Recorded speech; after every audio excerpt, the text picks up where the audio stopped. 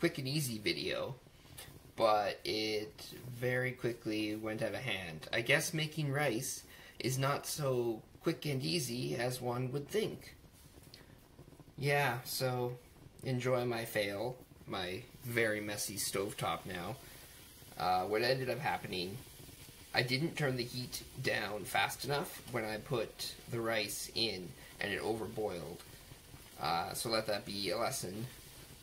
Josh tip, always turn down the heat on your boiling water when making rice before putting the rice in. Otherwise, you risk getting yourself a little bit of a boil over. Uh, it's currently kind of boiling over right now anyway. Maybe I didn't use a large enough pot. If you know what's going on with my rice, let me know in the comments. Just, uh, how do I do this? I thought I knew what I was doing. I was following the instructions on the back of the bag of rice.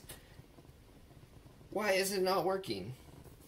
Maybe it is working. It's just messier than I was expecting. 10 minutes left on the timer. I'm gonna go have a smoke.